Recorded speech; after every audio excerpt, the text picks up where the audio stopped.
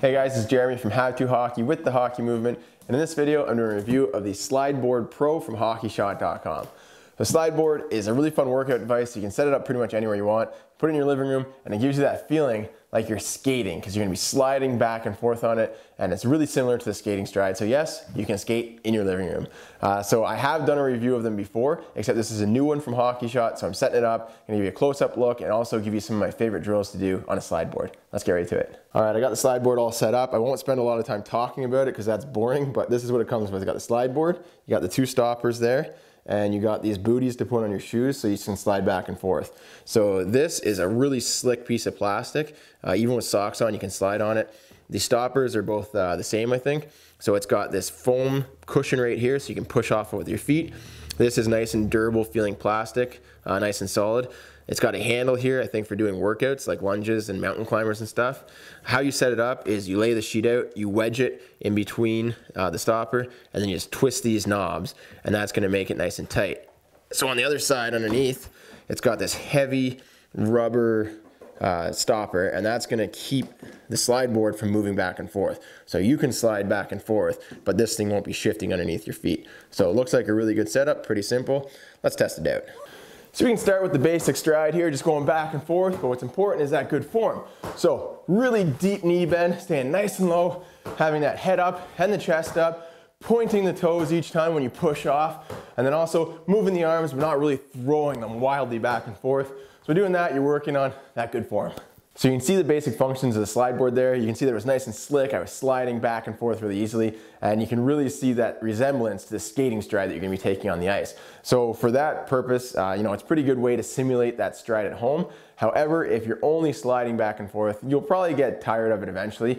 But the good news is there's all kinds of drills that you can do on a slide board. So I'm gonna show you a few of my favorites. And if you do pick one of these up, you can come up with a whole bunch on your own and just work it into your routine that you're already doing at home. Now we can pump it up a notch because now I got a 20 pound medicine ball and that's gonna add a lot of weight to your slide. Every push is like you're pushing an extra 20 pounds across the mat. That's also gonna work your core. Now we got your mountain climbers. This is a great one because you get a full extension from each leg, work on your flexibility, and also good cardio workout. This is a good workout that I got from Gary Roberts when I was working out with Steven Stamkos. Lucky me. I'm actually cheating right now, but the reason I like this one is because you're usually always doing pushing and jumping with your legs. This one is a pull exercise that you can do at home.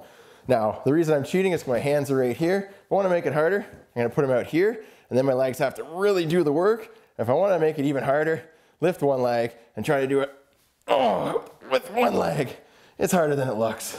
This is a really good core exercise that you can do. So you start in the plank position and then you push your legs back and then pull back. And the farther out you go, the harder it's gonna be to pull back in, but the better workout that you get. Another great leg exercise you can do are the reverse lunges. These ones are a little bit different than the normal lunges you do because you're actually sliding backwards and sliding forwards. And of course, you wanna pump it up a notch, grab a weight ball, add some weight to it. And for reasons I don't have to explain, my favorite workout is to grab a shooting pad, toss it down, and do some stick handling. Using the slide board while you're stick handling is a great way to really focus on good technique. So you can kind of think about what you're doing, make sure you have that good knee bend, make sure your hand positioning is right. Also make sure that you're stick handling with your head up. So this is an awesome way to get those reps in with your head up without anyone watching and you know just getting that feel for the puck. All right, to wrap up the review, just gonna do my overall thoughts and some recommendations. So overall, I love the slide board. You can see it's really slick and really simulates that skating feeling. So I love it, uh, well built, durable, seems like it's going to last a long time. No real downsides to it. Would I recommend it to hockey players? Absolutely, if you're already working out at home, you got a routine, work this into your routine. It's gonna give you all kinds of new possibilities. So I recommend getting into a fitness routine first, create some good habits, a good routine, and once you can stick to working out, uh, you know, for a month, then start thinking about picking one of these up and working into your routine.